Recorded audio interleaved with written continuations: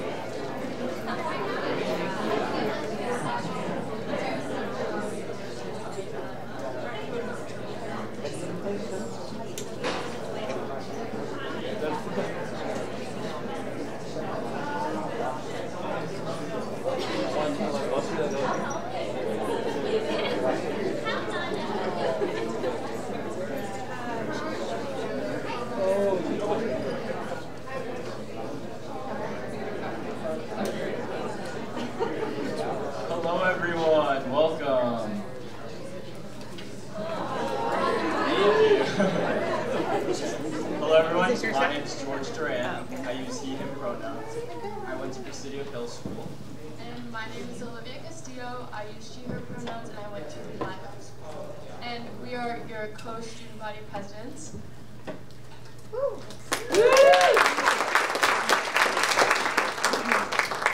So this is our mission. A private school with a public purpose, Lick Wilmerding High School develops the head, heart, and hands of highly motivated students from all walks of life, inspiring them to become lifelong learners who contribute to the world with confidence and compassion. And we just wanted to thank everyone for being here tonight. And now we're going to pass it on to Ms. Titus.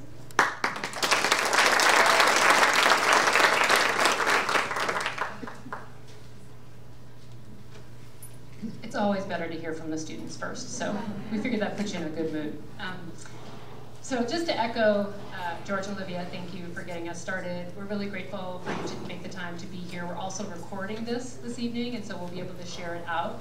Uh, we're gonna, it'll not go out in this week's eTiger, but it'll go out in next week's eTiger because we're gonna take some time to translate it uh, and make sure that it's accessible for all of our families. So uh, we're also, when it com- comes out in eTiger, there will be a survey that's connected to it for feedback from, from our families. So we'll look forward to hearing from you. So make sure you fill out the survey. That's your only homework, but you've got two weeks to think about it. Um, so my job here is, uh, is really as going to be sort of a little bit of the MC. We're doing things slightly differently than we have in the past uh, in terms of wanting to bring lots of voices into this space. So for anyone who has had the opportunity to attend the State of the School either in person three years ago or uh, online, uh, this will feel a little bit different because we want to hear from more voices. Uh, so we're excited for that. Uh, we also know that it's sort of new and we're trying something new, so that's why your feedback is going to be really helpful. Uh, but I want to just set the stage here to let you know that when I was asked um, to join this community uh, a year ago, uh, one of the big things that I heard from everyone is as we were experiencing the pandemic, still coming out of the pandemic, that the primary goal of this year was for us to reestablish a strong sense of community. And, uh, and that's really what we've been focused on. And I also, you may recall, if you watched the video that I shared at the um, back to school night uh, in the fall, I made you one promise that it would be imperfect and amazing. And I think that that's kind of true. There's things that we've, we've learned because we, it's been three years since we've had in-person events that we've, you know, so we've, we've bumbled our way through getting, getting those muscles going again. But we just so appreciate your understanding and partnership as we have gotten back to a much more normal experience here on campus. And I will tell you that from what I've experienced as the interim head, that the kids are having an amazing experience. And it should never be perfect, right? There should be bumps along the way, there should be things that we're constantly learning. But I've been so amazed with how much, how much joy they bring every day and how much engagement they bring every day. Uh, and so tonight is about giving you a sense, a broad sense from all of our constituents, from our PA president, so I'll actually take you through the agenda, from hearing from uh, the, the, Parents Association, the board, uh, giving you some ideas and key metrics and data about the success of the school, talking a little bit more about program, hearing more from the students, uh, and then thinking about what is it, what, what are we looking ahead toward? Uh, and then we'll close with remarks from our incoming head of school, Raj Mundra. So we're really happy that you're here, uh, and I hope that you enjoy hearing from all of our constituents. And I'm going to hand it over to Yvonne.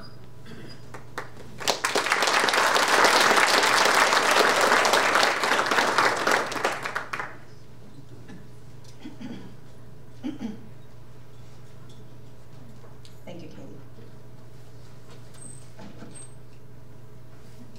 Good evening. Good evening. Um, so, uh, what's that? Uh,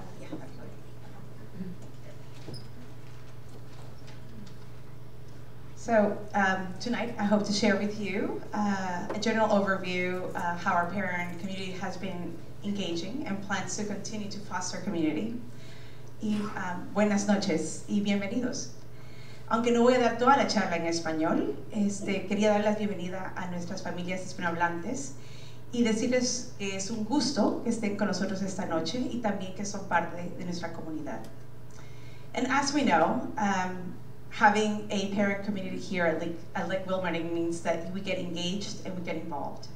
And I'm proud to share that this continues to be the case even after having gone through COVID and that our parent volunteers continue to get involved and our families continue to attend events. And the parent engagement this year has been amazing. Our parent community has shown up with spirit and dedication and has shown in all our events, from sporting games to admission events to performances. The Tiger spirit has been felt all around. Here are some examples. Um, over, we've had over 15 in-person events, and we're actually trying to have a better gauge on how to keep a track of our events. We're working on that. Um, and some of the highlights have been, as you know, the Oracle Sports Boosters, Go Tigers, mm -hmm. um, some performing arts season receptions, uh, our fact staff appreciation events, uh, and we also had here some uh, guest speakers, such as the our um, the author Jaime Cortez, who came and uh, had an amazing uh, talk about his book, uh, Gordo. And we had a great uh, attendance there as well. Next slide. Uh, next slide. Um, we also had some uh, Zoom events, and we had in conversation with Dr. Susie Zhang and journalist Lisa Ling. And we continue to connect through our PA through groups such as the Book Club, uh, Knitting Club, our Sports Boosters, and um, Applause. So as you can see, we are still continuing to uh, connect, and we continue to do so. And we encourage all of you to please continue uh, reading the Parent Corners, the e-Tiger, to be engaged and up to date to our, our information. And uh, please uh, continue to be part of our amazing community and increase time together and strengthening friendships and connecting and making new friendships throughout um, our years to come. And with that, I think we will talk about uh, what's coming up with um, also our uh, affinity groups.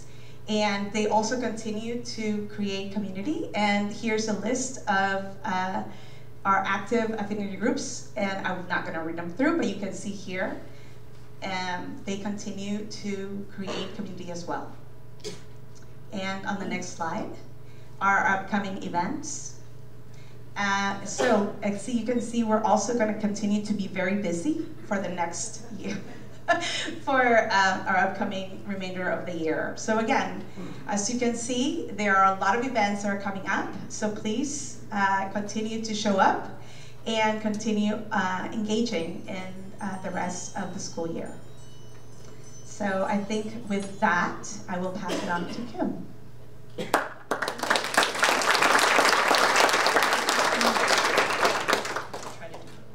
Hi, my name is Kim Drew, and I am the board chair, and I am so happy to be at an in-person event with the Parents Association. It's such a great um, treat after the last couple of years. I am going to, um, you know, excited to give you an update on what the board is working on this year, and um,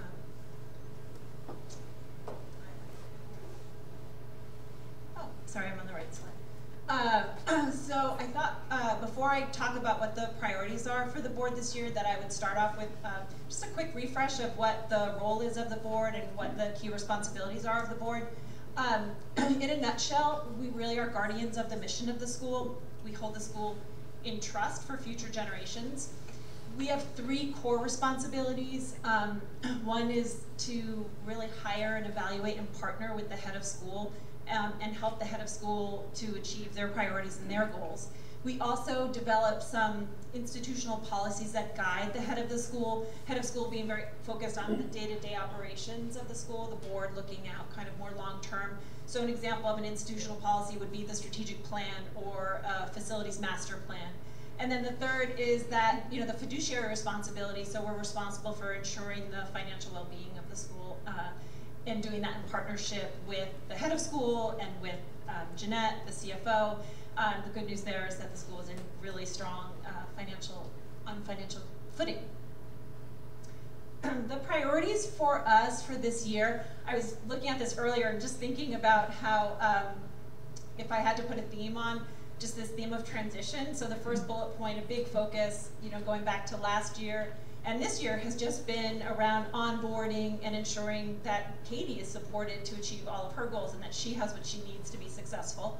Uh, and then we've also been really focused on laying the groundwork for Raj uh, and something that has been so interesting and I really um, admire you for this is, you know, he was hired in June and I mean, just between the visits and the meetings, and really has been investing so much and working closely with the board so that in July he really hits, hits the ground running. Um, we've also really, um, this year, are reassessing and taking a deeper look at the strategic plan the plan was adopted in 2020, in January of 2020, right before the pandemic. And so the board is investing time this year to look at the strategic plan and say, you know, what do we need to dial up? What are we dial down? What needs to be added, removed there? Uh, and then have been focused on, it, every year the board has a board education program. This year it's around um, really deepening the board's DEI skills and doing that in a way where we're applying it to the processes and policies of the board itself, um, mostly around governance. Um, and then really just a good um, housekeeping item for most boards is around strengthening the ongoing risk monitoring and um, risk assessment procedures for the board. Um, I wanted to also quickly just make a plug for the strategic plan. So as I said, the plan was adopted in January of 2020. And later speakers will talk about work that's happening at the school related to the strategic plan. Uh, it's not too long. If you're not familiar with it, I wouldn't be surprised uh, because you know it was adopted at a time and then we didn't hear a ton about it because of the pandemic. So really would encourage you to go to the website, download it, and just become familiar with the three threads. Um, the first one being really focused on um, the academic experience and really evolving the, our program, the comprehensive student experience, the program. The second thread being around how do we uh, intensify and expand what we already do really well to draw a very diverse student body, a diverse community to Lick, one that really represents all the different facets of the Bay Area. And then how do we provide the resources and the sense of belonging so that people thrive once they're in the Lick community. And then lastly, we all know that our faculty and staff are really the um, kind of the core and the essence, the heart of what makes a great Lick education. And so the third thread is really around deepening, um, investing more in our faculty and staff so that we're attracting, retaining, and really providing avenues of growth for our faculty and staff. Go read more if any of that was interesting to you.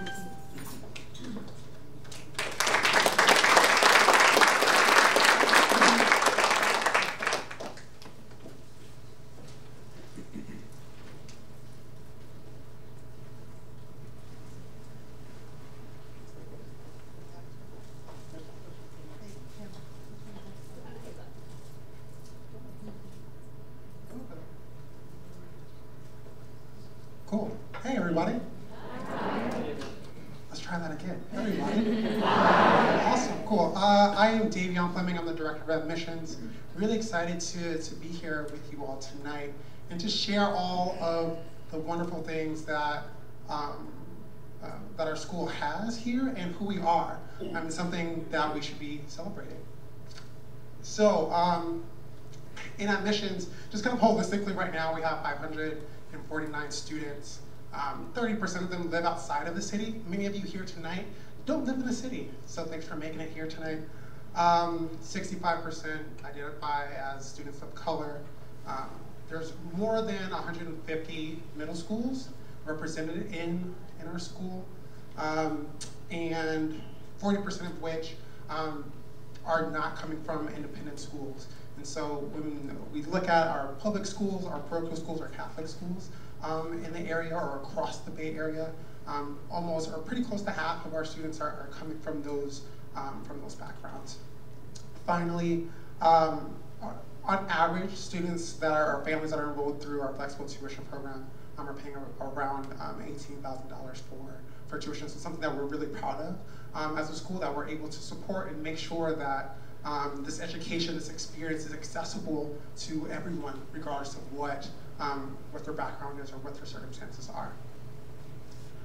In particular, um, the, the Frosh. Um, there's a lot of Frosh parents in the crowd tonight. Um, you may know this from maybe your child um, speaking to you, or maybe they're not speaking to you as much anymore. Uh, but they're really excited to be here on campus. They have so much energy. They're bringing a ton to the community, um, well beyond these numbers. But looking at these numbers, it kind of explains why, right? Um, again, 33% um, of them are enrolled through flexible tuition. 70% um, of them identify as students of color. Um, another uh, 73 middle schools represented. Again, um, the public parochial school background about 48%, and then 35 um, households are, are multilingual. Um, so again, really diverse group of students that are adding a lot to our community, and I, and I feel that it's really felt on campus, their presence, um, for better for worse. but they, um, they're doing a really great job. I'm really excited to see them playing in basketball games and soccer games um, and just being involved and engaged on campus. Finally, um, one of the things that, that we really look at um, is how do we continue to, to get better as a school and an institution um, and the opportunities for us um, may not come up as often as we would like, but that's a good thing. That's a good sign of a, of a healthy school. And so um, here um, I have attrition up here. So attrition is the percentage of students who decide to leave um, like after some amount of time. And so right now, um, this past year, we're at 2.5%. Um, in, the, um, in the Bay Area, it's about at 3.5% statewide, it's closer to eight percent, and then nationally, um, about 8.5%. So we're doing a really great job. Um, that doesn't mean that there isn't um, areas in which we can improve, um, but just wanted to showcase again how healthy um, we are as a school and institution and how well we are, we are doing in supporting our students um, every step of the way. I am going to pass it over to Jeanette.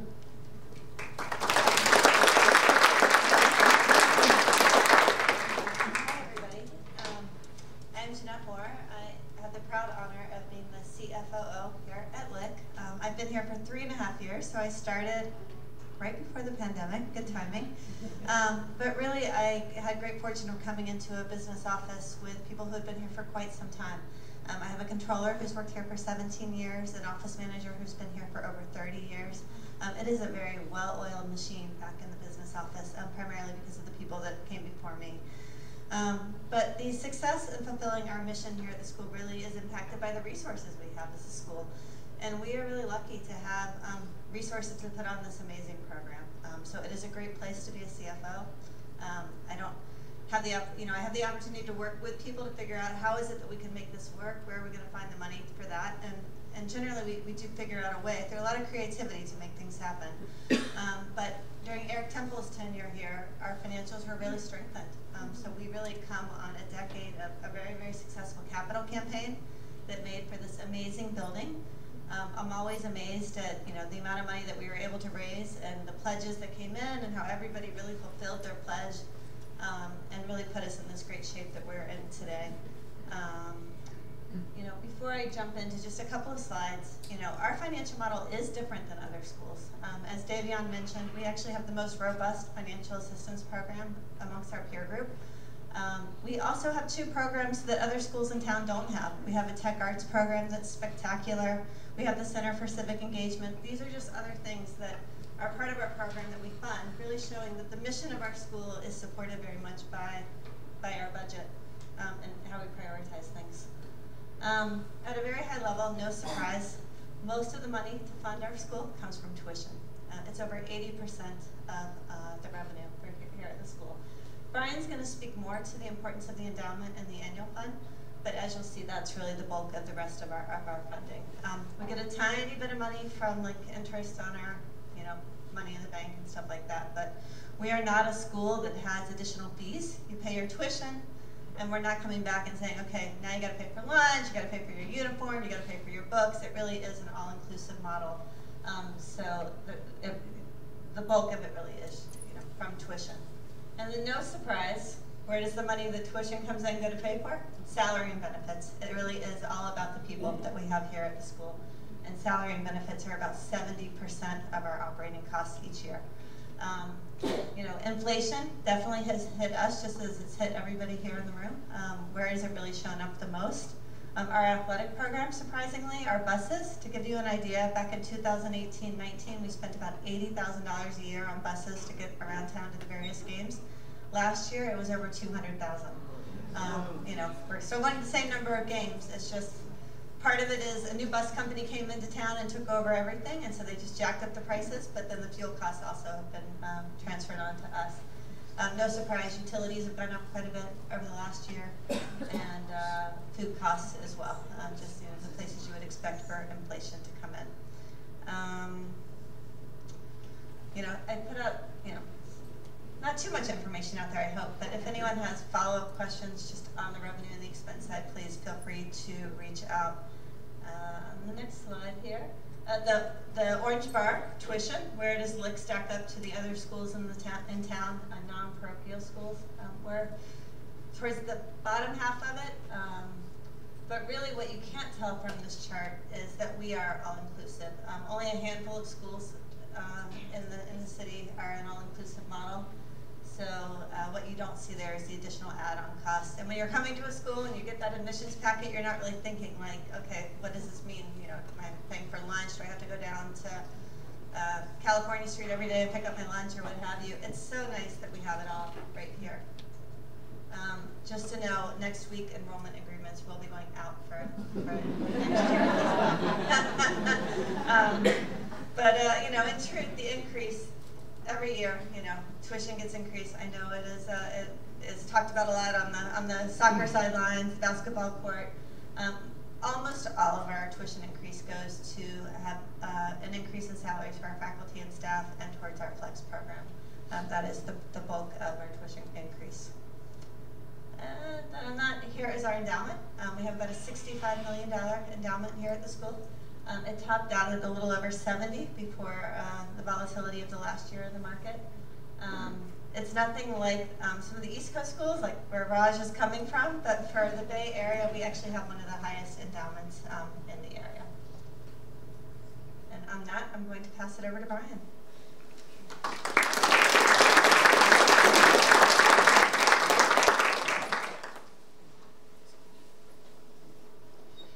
Hello, I'm Brian Driscoll, Director of Development, and I'd like to start off by just saying thank you. Thank you all who have supported the school for some of you for many years, some this year for the first time. Uh, the annual fund, as you can see by this chart, breaks it down. We have, uh, it's much like Jeanette's chart. Tuition covers the bulk, and the annual fund and the drawing endowment covers the rest. So it's like 85-15.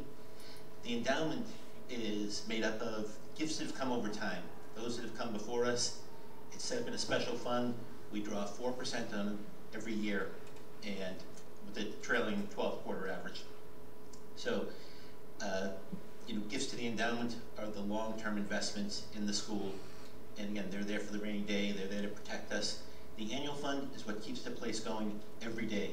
We're not in a capital campaign right now, so the annual fund is really the only way to give to the school. And um, we've done a great job. Heather Platt, uh, our fund manager, works with a group of parent volunteers, and they do an incredible job calling. We make a conscious decision to call over three quarters of the year. Those of you who come from independent schools, K to 8, a lot of times they'll do it in 30 days. We don't want it to be a transactional experience. We want to sit down and talk with you and have your, your philanthropy be transformational. These gifts, even though they get spent this year, they allow us to be who we are. Um, the annual fund supports the flexible tuition, the shops, the programs, the faculty salaries, the athletics, the arts, and it's a vital part of what we do. We couldn't offer many of these things if we didn't have it. And as the costs grow, the annual fund has to grow every year too.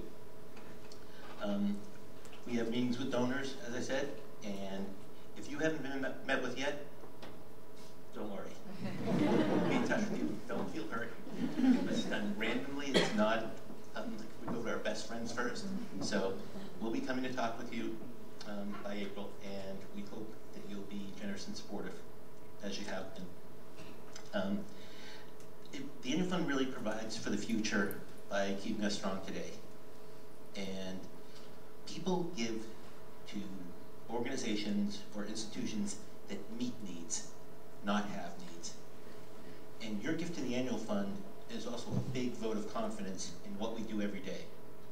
You know, there are lots of great causes out there, and when you make a decision to give to Lick, you're telling us and telling the faculty that you really believe in what's happening here every day. And that means a lot to us. Uh, over the last nine years, the annual funds increased 81%. So there's a lot to celebrate.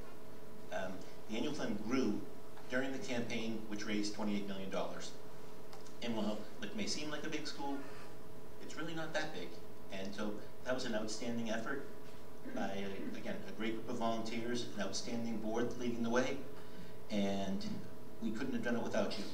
And we'll have some special projects in the next couple of years as we gear up for another campaign. So just something to keep in mind. And uh, we're just really grateful for all that you have done to help us. Um, the current families, as you can see, bear the lion's share of the support the annual fund. This this thing, and and that's how it should be, because the annual fund supports what's happening right now. You're the big beneficiaries. Um, you're giving to something that's going to make your child's experience better right away. That money will be put to good use and put to good use right now.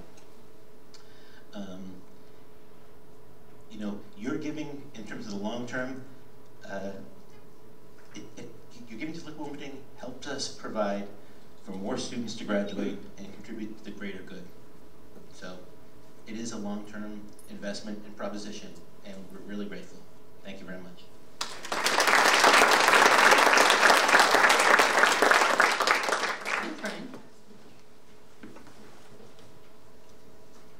Um, so uh, Allegra Barclay uh, is new this year, and she is the school's Dean of Faculty. And she is actually currently in Philadelphia at a diversity hiring fair. Uh, I'm actually flying on a red eye tonight to meet her there tomorrow to do some interviewing. Um, but I wanted to make sure that you got to see her face uh, as a new member of the community, and she would be normally doing this particular slide, but I'm stepping in. Um, and really what we wanted to make sure that you all could see another area of strength for Lick is the longevity of the faculty here. Uh, and what I have really um, has been amazed me is that people are really intentional about being at Lick. You know, it is not just a job, but they're here because of the mission of the school and the values of the school. And what's amazing when you really talk to our faculty is how far they are willing to commute to be here. And I know some of you can relate to that. You know, how far your kids are willing to travel to be here and be part of this community. It's really tremendous. So if you really look at that, when it breaks down, you know, half of the faculty have over 20 years of experience. You know, that's incredible. Like, you know that your kids are getting a good experience in the classroom because these folks um, have been around and they're mentoring the younger faculty and they're helping them to grow. And so this is a point of pride for us as a school and we wanted to be able to share that statistic with you. So now we're going to actually transition to the program side. And so I'm going to invite Kate and Raquel and Dee to join me up here. Thank you.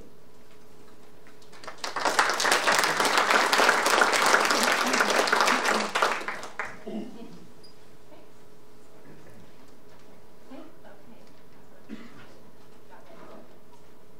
everybody. It's nice to be here. Apologize for the soccer clothes. I just came the, the pitch. We thought we would introduce ourselves first, and we're going to take our inspiration from our STUCO exec presidents. My name is Kate Wiley. Um, I use she, her pronouns. I think this is my 17th year um, at Lick Wilmerding. Uh, my role is uh, currently my first year as the Dean of Teaching and Learning. I came out of Dean of Students. Um, and I went to university as my high school. Go lit.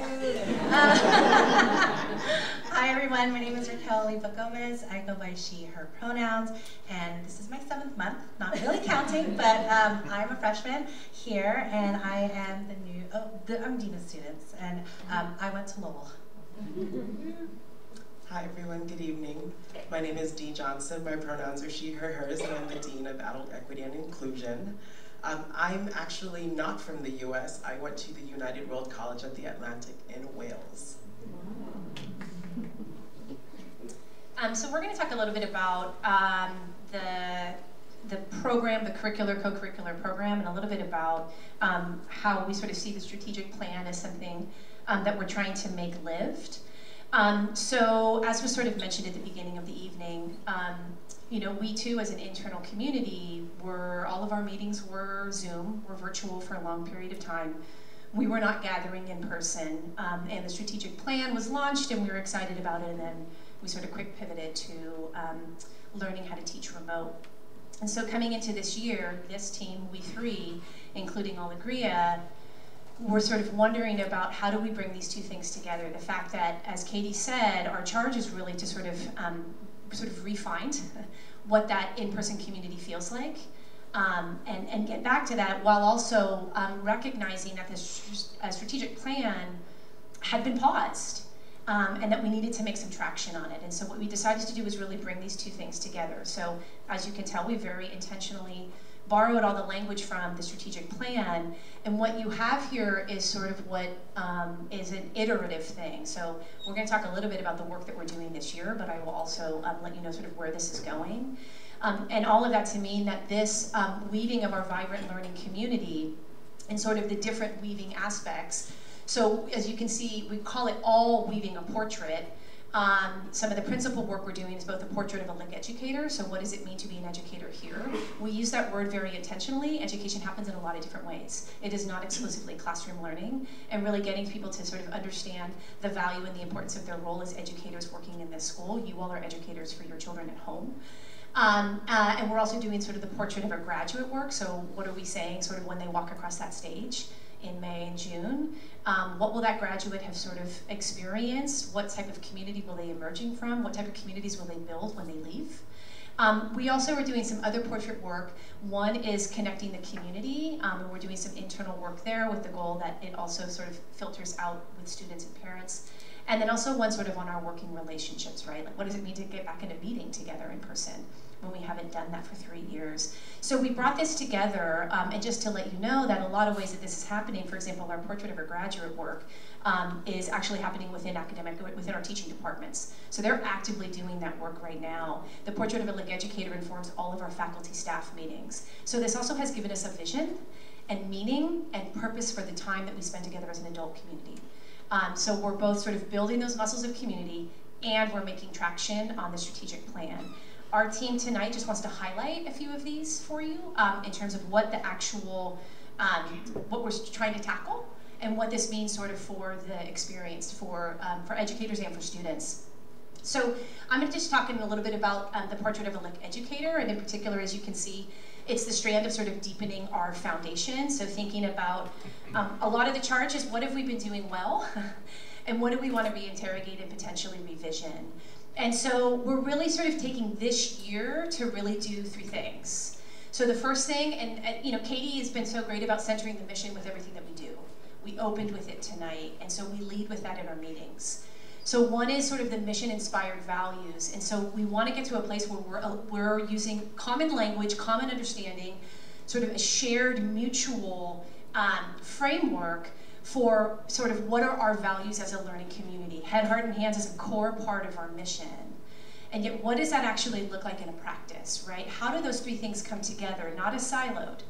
Not as hands happens on the soccer pitch and head happens in the history classroom, but how do they come together? And so some of the work that we're doing right now is we're taking these sort of values and ideals and we're actually turning them into competencies. How do we know when that practice is happening? How do we measure it? How do we evaluate it? How do we scaffold it? How do we build on it? Um, we're also sort of looking at sort of what we're saying is the, the mission-inspired program. So one of the charges of the strategic plan for us to think about as educators is how do we amplify the reality that teaching and learning happens in a lot of places. So how are we making more space for social justice and anti-racist work, for our public purpose work? So where students are seeing the extension and, and our teachers are seeing the extension is sort of what we, we talk about and what we say we're doing with doing it. Um, and then thirdly, um, we're really moving towards um, a more sort of integrated teaching and learning philosophy. It's another charge of the strategic plan. Um, and what that means is, is, again, is how do we sort of break down the walls about discipline specific, and how do we start sort of integrating the teaching and learning. Um, and so one of the things that we really want to start to look about look at is how can we sort of sponsor and build and find space for educators to collaborate so we start to have cross and multi and interdisciplinary courses and offerings um, in ways that are bringing head, hearts, and hands together for the, for the kids. Um, and frankly, I think that actually is, is better teaching. So right now for this year, these are sort of some of the things that we're working on. I'll talk a little bit at the end about sort of what that actually looks like in a systems practice, but these are sort of some of our value orientations for the portrait of an educator.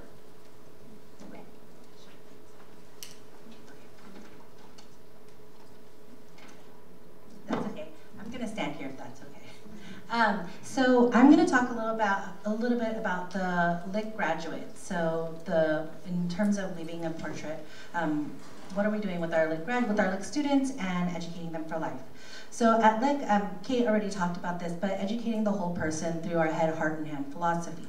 Um, we're dedicated to nurturing, to fostering a nurturing environment where students develop into lifelong learners who are equipped with the knowledge, empathy, and skills to make meaningful contributions to the world um, with confidence and compassion. And we heard that from our mission statement. And the values that are coming from the Portrait of an Educator work that Kate also spoke to um, are translating into the competencies that we are um, going to want to see for our graduates. Um, we're aligning those shared values as learning community um, but as all of you know, um, learning, teaching and learning doesn't just happen in the classroom. Um, we want our students to be known, supported, and cared for, whether that's through advising, peer connect, um, community events, or in um, community meetings, where we're fostering empathy, inclusion, and sense of belonging. With the goal of centering our students and amplifying their voices, we're empowering our students to grow into compassionate and collaborative leaders. We listen to student perspectives and implement educational initiatives centered on the topics that they deem as important. Um, this year alone, we've offered programming on consent and healthy relationships, harm reduction approaches to substance use, and promoting our ethnic studies program. Um, we're consistently providing our student leaders with training and leadership opportunities. And this past December, we had six students attend our uh, attend the Student Diversity and Leadership Conference. And this past Tuesday, 13 students attended the Bettina Love Special um, Student Event Conference at Woodside Priory. Um, our school also places um, emphasis on community service and public service as part of our mission. And that's something that really drew me to the school. Giving our students the opportunity to participate in service through PPP, classes, and standalone opportunities can be a valuable experience for them. As it teaches them the importance of giving back to the community and helps them develop a strong sense of social responsibility. I had a really rewarding time with some of our 10th graders. Um, we went to El Dorado um, Elementary School and got to help out with snack, um, recess, and tutoring. Um, in the fall, we had a few students who helped host Lick Wilmerding's first mental health benefit. They partnered with the center and also with the counseling department to raise awareness, education, and resources while showcasing some of our students' talents and treasures. All of the proceeds from that event went to um, the Greenlight Clinic and um, something else that I also wanted to highlight was the TEDx event that's being hosted in April by um, AJ Nasser. Um, and that theme is Insight, Impact, and Innovation, where students from Lick will have the opportunity to share their stories and how they plan to make a positive impact on the world. Um, this event has generated a lot of excitement with our community members, um, but those are just a few ways to, um, a few things to highlight that what our students are doing with service and community engagement as a way to give back, make a positive impact, and foster a sense of purpose. Um, another thing that we're really trying to focus on, like Katie said, was having that imperfect and amazing year. Um, and so we're really trying to infuse joy into the day-to-day -day with our students. Um, Student Council is doing a really amazing job, so I want to give a shout out to them um, because they're really listening to the needs of the students and listening to wanting to know what they want to do in terms of making those milestone memories that they might not have been able to do because of um, COVID. The, um, they're emphasizing community, having fun, and slowing down. And the emphasis on slowing down is also really important to help counterbalance the stress and pressures that come from school and extracurricular activities that some of our students may be experiencing. Um, overall, the student, uh, student council and student life team are doing a great job, I think, of bringing back joy and school spirit. We can hear them in the gym right now, um, but it's been really awesome to, to feel it. Um, and lastly, you know, we all aspire for our students to be prepared for life beyond Lick. Um, we hope that one day they'll be able to look back at their time here with all those fun memories um, of grade level competitions, um, the TGIF dances, socials, and other defining moments of high school that are all really integral aspects of their of being a vibrant community.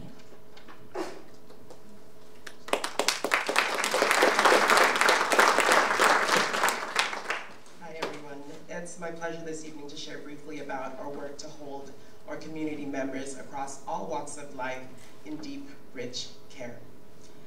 As you all know, the past three years have been rather difficult. We've been together apart um, through multiple pronounced pandemics, distance learning, and other forms of isolation. So naturally, we wanted to have a reset. And so, as a community, we decided to focus our attention on compassion, communication, communal care, and collaboration as our themes for the year, as Kate mentioned earlier. We committed to asking ourselves how, through our people, programs, and practices, would we challenge ourselves to be better together once again. We leaned into our values of wellness, equity, and belonging and leveraged our learnings from the pandemic, um, and there were several. Particular continued interrogation of our use of time and designed experiences that would allow us to come together with intention, with care for our most underserved and underrepresented at the fore. We intentionally designed an onboarding process that allowed for FACT staff to learn more about the school, their respective departments and teams, while also allowing for the cross-pollination of ideas across disciplines. We created a more robust and mission-aligned arc for adult meetings, as previously mentioned, added more opportunities for celebration. We needed more joy um, and dialogue, both in and across affinity groups, through the PA, through our student affinity groups, and through work through our anti-racist faculty group, as well as created opportunities for folks to challenge themselves even further through deep anti-racist and other forms of self-work and healing. We also have met student and family support, FACT staff recruitment, hiring, and retention with renewed fervor. We continue to deepen our commitment to being student-centered with the rich work of our student support services team led by Raquel. Um, and we've put in place processes that allow us to support the diverse language needs of our families through offering interpretive and translation services in Spanish, Mandarin, and Cantonese at community-wide events, and through the hosting of our second annual Latinx Open House, an admissions event that is run completely in Spanish. We have also made significant progress towards improving the access of our Latinx families to the, that they have to the academic and co-curricular programs at our school through actually one-on-one -on -one engagement in Spanish language. And this is specifically important considering that we've set a, a goal of 25% of our student body identifying as Latinx. We've also continued to advance our commitment to reaching our desired goal of 40% of our student body receiving flexible tuition, which is really important given the high cost of living in the Bay Area. And as it concerns fact staff recruitment, hiring, and retention, we continue to build partnerships with seasoned recruitment firms that specialize in the recruitment of diverse candidates. We also continue to cultivate relationships with historically black colleges and universities, HBCUs, other BIPOC community organizations, as well as Hispanic serving institutions, HSIs. We offer very robust compensation packages that include, include competitive salaries and immaculate benefits. And as a senior leadership team, we've begun the work of interrogating just how we can be more creative in holding our faculty in deeper care given the high costs in the Bay Area and the generational turnover in our faculty as well. So we also continue to support professional learning and development with an impressive PD budget that has allowed both students and adults in our community to grow in the areas of DEI, socio-emotional learning, and of course, in their teaching and learning leadership. Back to you, Kate.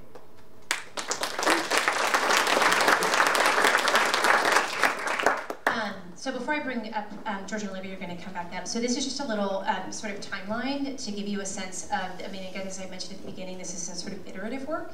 Um, and, um, you know, we're trying to sort of plan out at least through 2025, which was the original benchmark, right, with our strategic plan. Um, so currently this year, like as I said, the Portrait of a Graduate work is happening in our teaching departments. Um, that will be we will be expanding as we move into next year, and the Portrait of Educators informing all of our sort of larger faculty and staff um, meeting times. What we're now looking to for next year is specifically the Portrait of a, of a Graduate, um, because um, there are multiple stakeholders, of course, with that and what that might potentially mean. And so we're going to take it from departments to cross-departmental. So, right, starting to get at again, what are the shared values, what's our shared language, um, how can we be sort of sharing best practices across department. We're going to be uh, launching student sessions. So students are going to be contributing to the portrait work, um, where, where is what they think aligned with what the teachers think, or where is it not aligned. Um, and we're also going to be doing family sessions. So there are going to be sort of workshop formats where we're going to be offering times for families to come, um, and it'll be you know co-led by a team of us where we will lead families through activities and exercises to get their sort of um, thoughts about and what they're experiencing as being a part of that right portrait of a graduate um, constituencies. 2023-25, what part of why we're also doing this sort of foundational portrait work is we feel fundamentally that the strategic plan charges us to have some conversations, right? Um, to have some conversations like Dee was saying about how we use time. Um, and you know, time, what, what, how you use your time is what you value. So does the way that right now we have a schedule, our academic calendar, is that, is that saying this is what we value? And so we want to do an interrogation of that. Our graduation requirements right? So are we saying, right, this is meeting sort of the education of the strategic plan and the initiatives, the sort of the mandates there, as well as what we imagine a student now graduating from a high school in 2025 is gonna, is gonna sort of be needing to do. Um, and so to do that sort of systems work, we wanted to start with the foundational values work.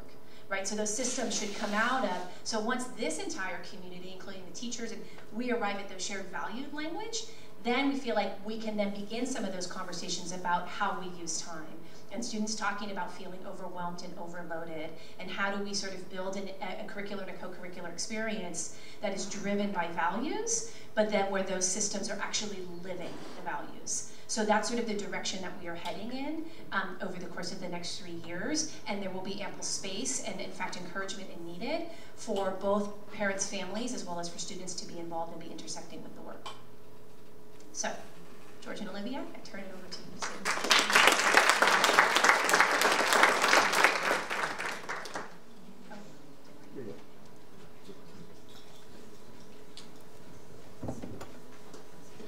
Okay, um, we're just going to talk about a few different student council positions, our goals, and our some of our glows and grows from the year.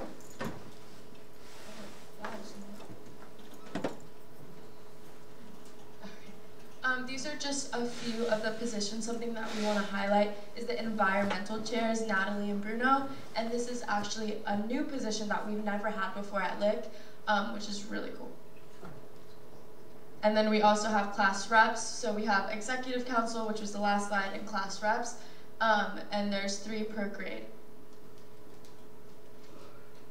Okay, so these are some of our goals as a student council that we established at the beginning of the year and have been carrying our projects and working towards. So our first one is bring back school spirit. As many of our presenters before us touched on, COVID had a big hit on our community and we wanted to acknowledge that. A lot of students were feeling disconnected from their friends, from other grades, and we really wanted to work on bringing back that energy. That energy that really describes Lick students, that passion, that passion for learning, for coming to school, to enjoying the day, wanting to be with your friends, making those connections. So that was our primary goal, and I think so far we've been doing a good job personally. Um, our second goal was to continue our work with the Ethnic Studies and Anti-Sexual Assault and Harassment Working Group. Um, George and I both um, co-founded the Anti-Sexual Assault and Harassment Working Group, and we're now working on Samahara Days of Justice, which is a conference with a keynote speaker, different workshops, and where students will get to learn about different things that um, revolve around anti-sexual assault and harassment.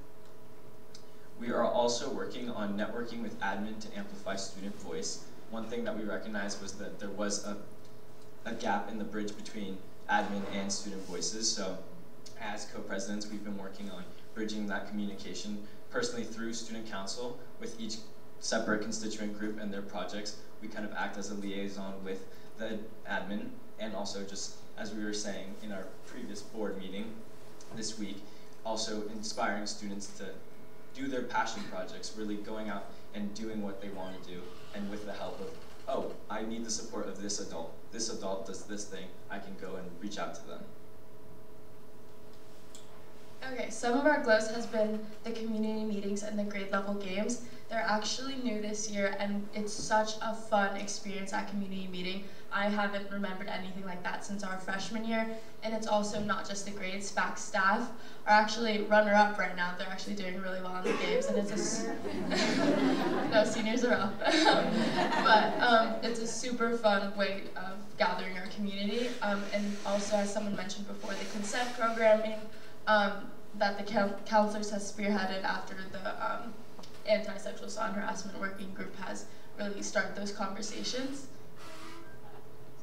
Yes, and some of the just brief events that we've hosted, a haunted house, health, health dance, TGIF, BIPOC Frosh Social, Spirit Week, and then some bigger things like we have the spotlight during community meetings that's like really highlighting student voices, going up to students, just kind of interviewing them on their experience of Lick. It's a thing that brings the community together. Like you get to hear from a freshman that you haven't met before, and that maybe now that you see them walking around, you'll say hello. There's also Chase Center and the pep rallies. We're trying to bring back that energy, like we said. We saw a huge turnout at Chase Center. We took up, I think it was three sections. University only took two. Sorry, Miss White. School. Yeah, we won. In spirit. And then also a, another avenue that we're communicating with the student body is through our Stuco Instagram. And just a quick shout out. Charlotte would not forgive me if I did not do a Stuco shout out, which is LWHS at lwhs.stuco or just Stuco. One of those two. We're on Instagram. We communicate through that. Um, okay, so as I mentioned before, we're currently planning Samahara Days of Justice, and we're also just really want to make sure we communicate to the student body and are transparent, and also transparent in our meetings with various ad administration on what the students really need and what change we want to see.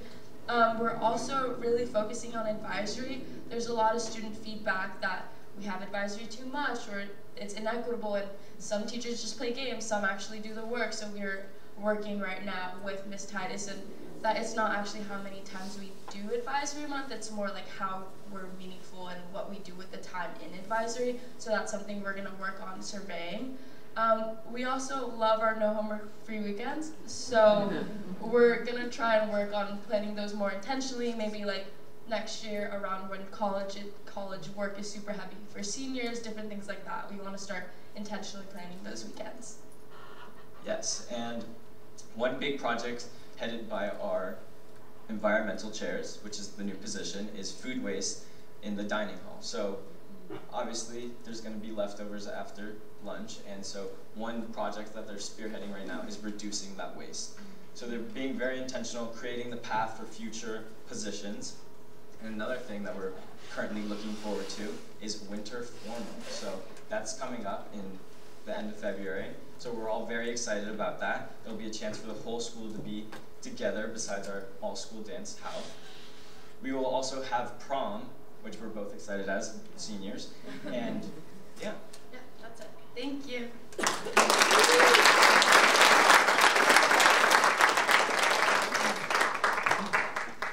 Um, the, uh, the student leaders here at Lick are incredibly motivated and one of the things that I really appreciate about the program and how we support student leaders is that we as the adults don't try to do it for them.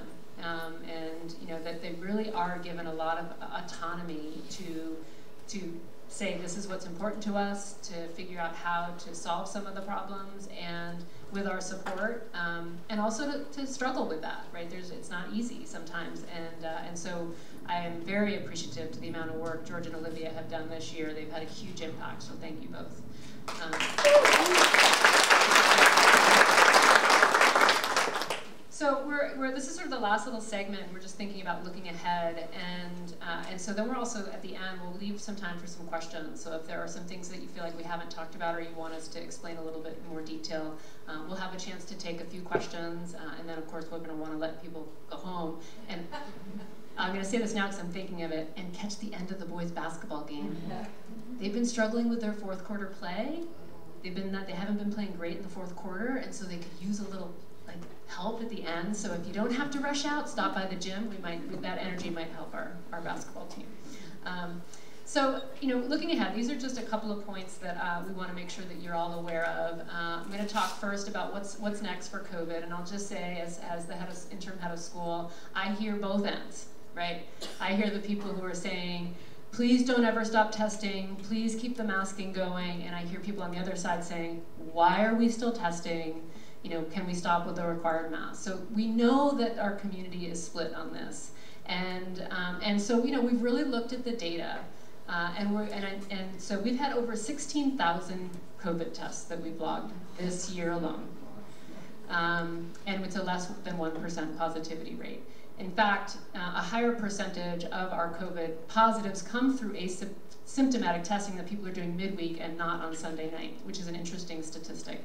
Um, and so th the reason that I share this with you now is not to say we've made any decision, but I think it's time for us to start to think about letting go of some of these, these um, processes. And I know that that will be hard for some members of the community. We, we, have to talk about it internally. We have to really look at the data. We're going to talk to the schools that haven't been testing all year. What have they been seeing in terms of COVID rates? Uh, and we'll be bringing the task force back together uh, to look at this. So it's important for us to start to just be prepared that um, at some point we will stop testing for COVID. Uh, and I think while that may seem obvious, uh, you know, and we, I'm not giving a timeline to it right now. I just want to make sure that people are aware um, that, that will come at some point. Uh, and but we want to do it well. We want to do it thoughtfully. We want to do it based on the science. Um, and then we will obviously continue to provide tests. Um, and we will ask people to test symptomatically. So it'll be optional testing with our optional masking. So, but back to the other things. Um, some of you may or may not know we are in the process of a website redesign for this year. That's a very intense process. Uh, and we're really excited about that. Adriana Delgadillo, who is not here, she's our Director of Communications, is leading that uh, team. And so just be aware that this spring we're really hoping uh, we'll be able to launch before the end of the year. But you know, as these things go, you know, we'll see how it goes. But that's going to be great for us to have a, a different platform and a different visual and design behind the story that we want to tell about Lick. Uh, and I'll just say that right now, the website is set up to serve lots of constituents. Uh, it's sort of trying to serve parents and prospective families and admissions families and faculty and staff. And so we're really trying to solve for that uh, through this redesign. We're also going to be launching student emails uh, next year so that they will have Lick Wilmerding High School email addresses, uh, which is a really important thing uh, for, for kids to have a professional email address. Uh, and that will allow us actually to be able to do better internal communication with our students. Um, we're also going to be doing a parent survey this spring. That's not something that we have traditionally done, but that's going to be really good data for the team and for Raj coming in uh, to hear from our parents about all the different areas uh, of the school, strengths, opportunities, I like to call it opportunities, um, that we want to be able to focus on as we think about the next several years. Uh, and then finally, obviously, there'll be a lot of focus on welcoming Raj and, and uh, his, his leadership. So I'm going to hand it back over to Kim. So thank you.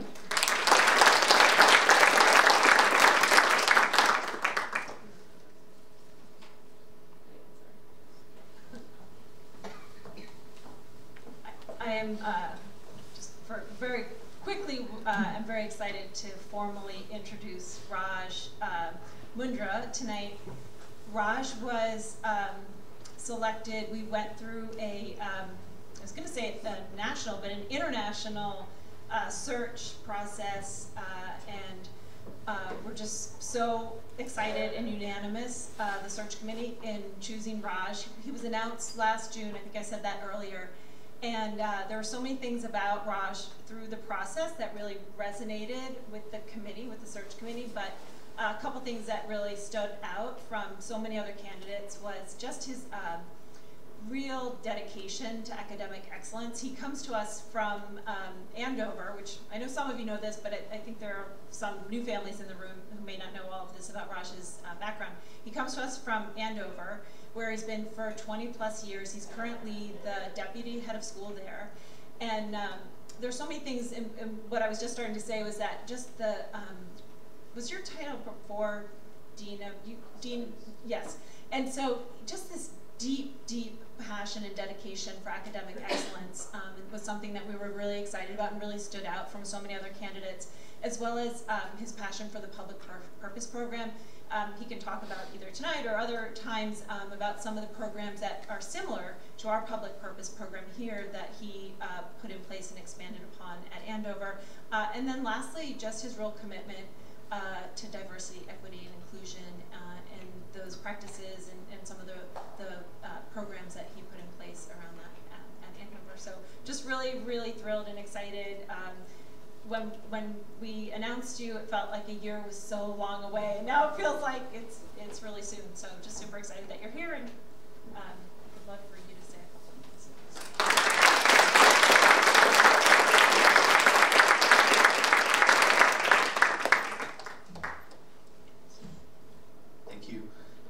Um, it's a real honor to be a part of this community. Um, and I just want to start by um, sharing some observations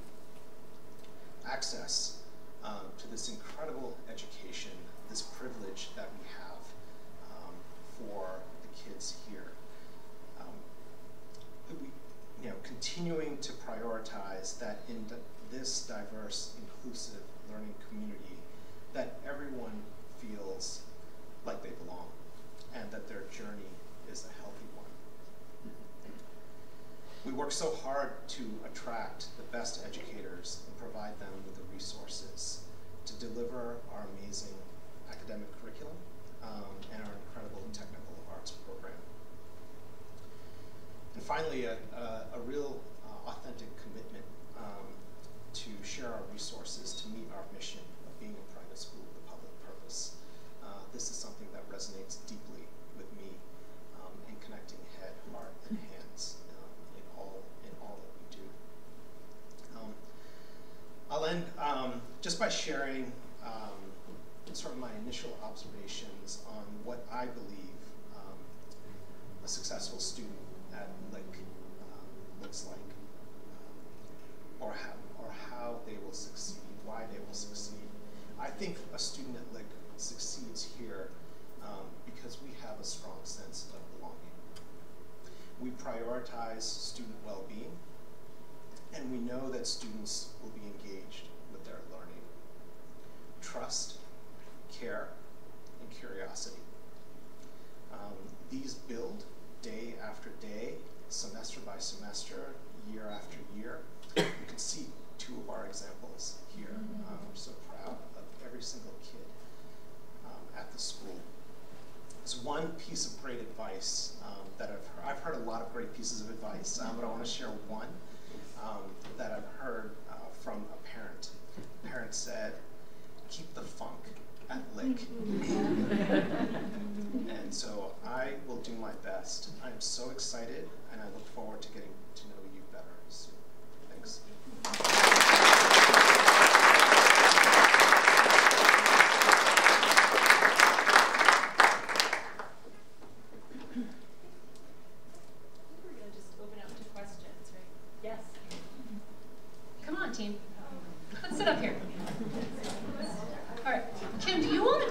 Basketball game?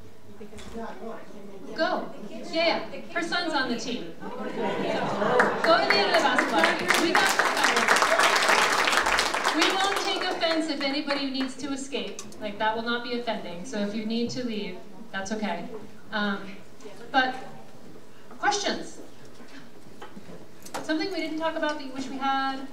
Yeah, and if you could say your name. Sure. Yeah. Um, Sherry Manning, uh, daughter sophomore. You've talked about all kinds of aspects of the strategy of the school. I don't think you've talked about academics. And the world is changing, climate change, politics, all kinds of things are changing. You know, what are the challenges? What are you recovering from COVID? What's what's new? Where are we going in academics? Yeah, so just to be clear, the, the question is a little bit more clarity about the future of the academic program. Um, so I think to answer one part of your question, I think coming um, sort of coming back into first cohort and then full school. Um, the sort of resounding question that I was hearing from students um, was, what's the purpose of this? Um, because they had just lived through something quite significant. It wasn't lost on them that it was quite significant. I mean, even in California with wildfires, it's not lost on them. And so a lot of the question was sort of, what, what's the purpose of this? And, you know, they weren't trying to be so esoteric. Um, and yet, I think what they were also asking for is, it's like, we, we love the learning and we love the classes and, and we wanted to be imbued and connected apart from this one discrete experience that I'm having.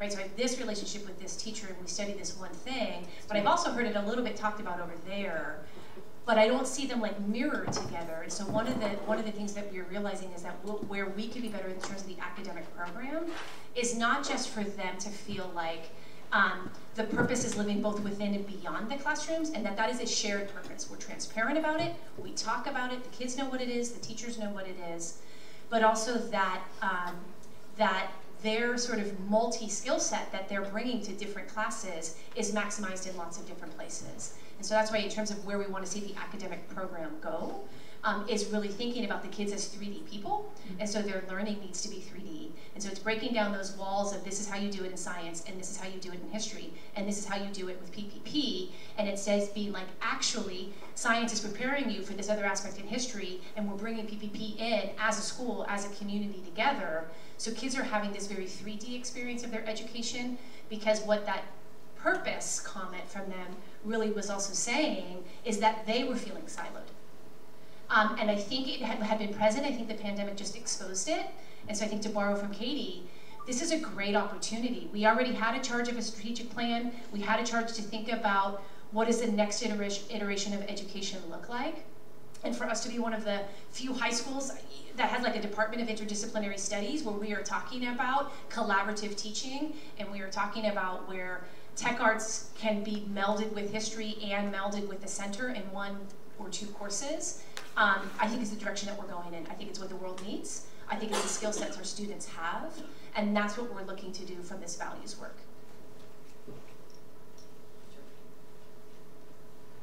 Other questions? Yes. Yes, um, I'm Heather McCullough. My, my son's a freshman here at Frosh. Um, I'm just curious if you, um, Katie and Raj, can tell us a little bit about the transition process and the onboarding. I know so much of it's already been going on, but as new parents, sometimes we don't see all that. So maybe you just could walk us through it a little bit. And I want to preface that with thank you so much to both of you for your leadership. Yeah, you know, I'll just talk about my experience. You know, I think that the um, the senior admin team here is incredibly strong. Right, so while we did welcome three of us new into the community this year with Raquel, myself, and, and Allegra, we also had a foundation of strength uh, here on the all admin team that actually made it really easy uh, to really hit the ground running. Um, so from my experience, because the team was so strong, uh, it really made the transition quite seamless. Uh, and you know, right now, obviously, we're focused on making sure that the handoff is is also seamless. Uh, and so I can let Raj talk a little bit more about that, but he's become my best friend. we talk all the time. We text, you know.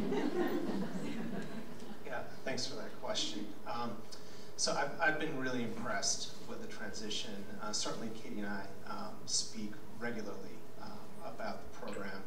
Um, there, I'm also, there's a transition team from the board um, that's helping logistics and uh, getting me up to speed on all the documents and the history and the spirit of Lick. Um, this is my uh, fourth visit um, to campus, um, and so every time I um, visit campus, I learn more about the school and perspectives. Um, I've got a full-time job right now also, um, so sort of attending to that. And so uh, I feel really good. I also uh, I feel so fortunate to be coming into a very strong team and a very strong program and values that just really align with me at a deep personal level. And so um, the transition is going really well. Um, in June, I will come here for a retreat with the senior administrative team and to sort of look at setting goals for next year. And then my wife and I will move out towards the end of June. Um, and I'll start July 1st. Um, and then we'll work our way through the summer um, and then get ready for the school year. Um, but it's been a pleasure to meet with kids, have really good conversations with kids and faculty, and now starting to get to know some parents also. Um, I do feel a lot of love coming into this community.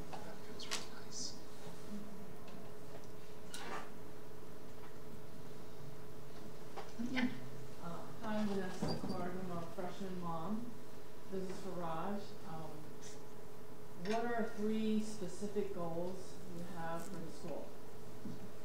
Thanks. So, um, one would be to um, continue to live the mission of the school. Um, so again, what I said is so important to me is access to the program, um, to, to have a diverse, inclusive learning this is this is not easy work. Um, there's a lot of hard work that